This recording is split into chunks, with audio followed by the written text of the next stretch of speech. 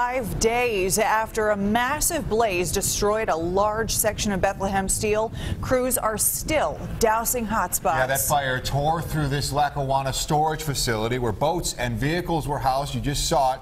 That is all that is left today, and this is what it looked like before. Tonight, we're talking to the owner of Dr. Bob's storage facility. But first, 7 Eyewitness News following the big cleanup today, both on the ground and in the air. Reporter Ed Riley live in Lackawanna tonight. Ed. Well, Jeff and Ashley, we have all seen the Lackawanna fire on the news, but you know, until you come here in person and actually look at it, it's almost hard to imagine just how big this is. And that's one of the reasons why officials say it could take several months for everything to be cleaned up. State of emergency is still in effect. Uh, I have no intention of lifting it until I'm told I have to.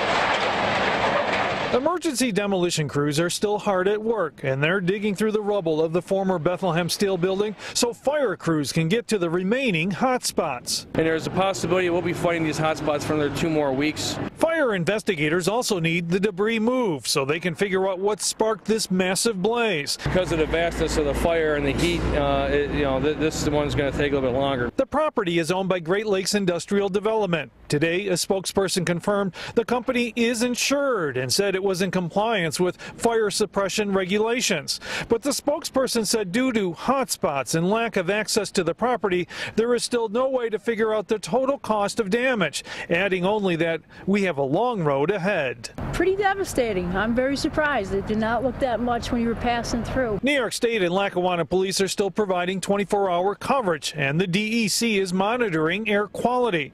But Lackawanna Lackawanna Mayor Jeff Szymanski said the city plans to bring in its own air monitoring equipment just to make sure. I don't know what my residents are breathing. I don't know what my first responders are breathing, but I want an, I want an answer too. A mutual aid response from Buffalo and several volunteer fire companies helped Lackawanna battle this huge fire. Those crews have left, leaving Lackawanna to handle any remaining problems. Honestly, if they weren't here, that fire would still be going. The firefighting cost is expected to be enormous, and city officials are now collecting data and paperwork with hope there will be reimbursement from the state or federal government. The city didn't do it, the residents didn't do it, but things had to be brought in and things have to be paid for. The mayor says the city is planning to keep some streets here in Bethlehem Park that are close to the fire scene shut down until further notice. Now, that's for two reasons. One, to allow first responders easier access when they come down here, but also to keep away gawkers who could end up bringing their cars and causing a huge traffic problem. Now, this fire is continuing to cause a lot of problems for a lot of people. My colleague Josh Bazan here with more on that. Yep, Ed, and luckily no homes on this street in Bethlehem Park were lost, but that doesn't mean personal property wasn't lost. We're standing in front of what's left of Dr. Bob's storage in Lackawanna, and that's a place where dozens of Western New Yorkers stored their personal property. And there was about 90 cars, boats, and RVs inside this facility at the old Bethlehem Steel site in Lackawanna. After last week's fire, the company's owner is calling it a total loss. One boat being stored outside didn't get damaged, but Dr. Bob's other customers are now hoping their insurance will cover these significant losses. The storage agreement required property owners owners to insure their boats, cars, or motorhomes on their own.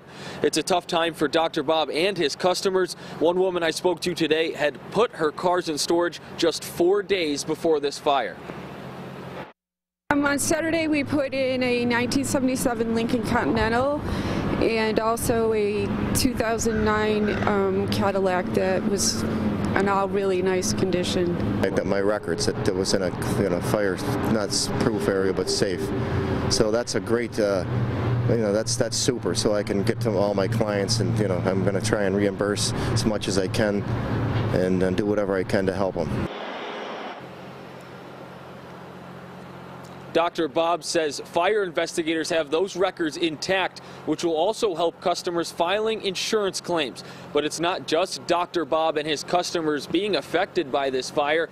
Coming up on 7 Eyewitness News at 6, we'll hear from neighbors right here in Bethlehem Park trying to just return to life as normal. For now, live in Lackawanna for Ed Riley, I'm Josh Bazan, 7 Eyewitness News. Gentlemen, thank you. Just incredible images.